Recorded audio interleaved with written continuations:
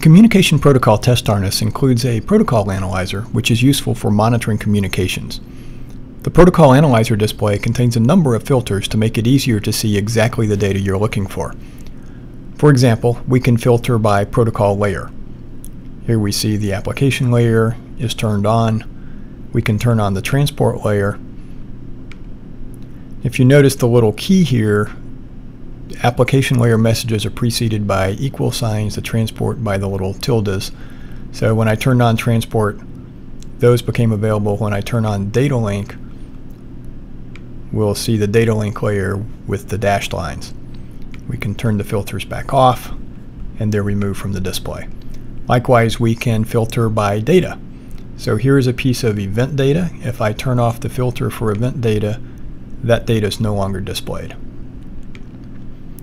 Can also filter out errors and timestamps and target layer messages. We can also fully customize the colors and fonts displayed in the test harness. Here we have the protocol output formatter. Notice by default errors are red and received security messages are blue and transmitted security messages are green. But we can customize this any way we want. For example, we can customize received application messages. Let's use black text on a gold background. Let's make that italic and let's indent it a little bit.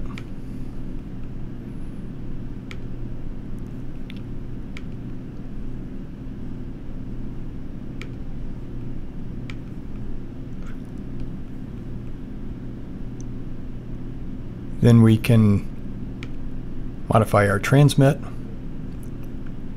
Let's make this gold text on a black background. And that gold doesn't show up real well, so let's bold it. Let's indent this also.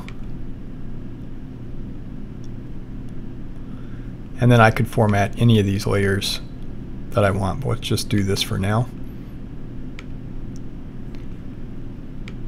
And here we see our application layer messages are now formatted as I just showed.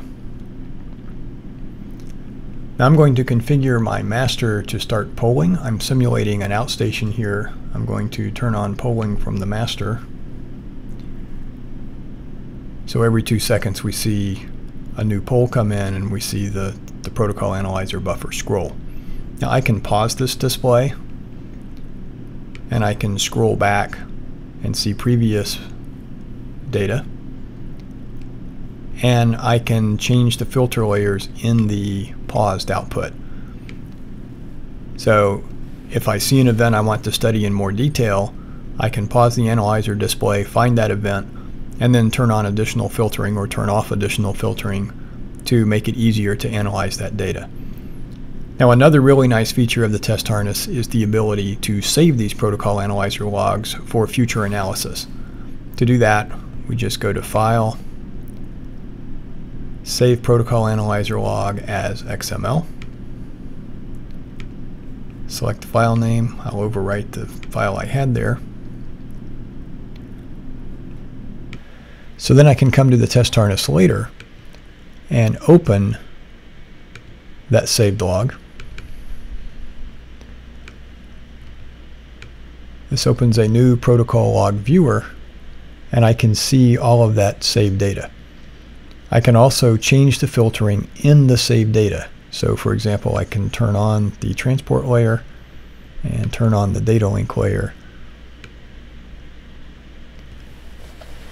This is very, very useful during testing. You can save off your protocol analyzer logs and then later go to your desk and review the logs in detail to make sure things are operating as you expect them to. And one other nice feature of the protocol analyzer is the ability to parse a set of bytes that were captured by some other means. To do this,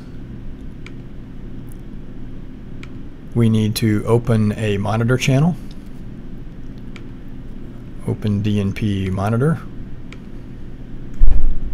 and we want to select raw input bytes for the channel type. And now we can paste those bytes in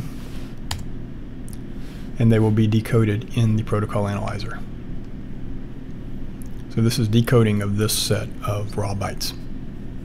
So as you can see, the Communication Protocol Test Harness offers a number of nice features with the protocol analyzer log, allowing you to capture real-time data, pause that data and view it, change the way the data are displayed, both with filters and color and formatting changes, and also the ability to save and restore logs, as well as to decode bytes that were captured outside the test harness.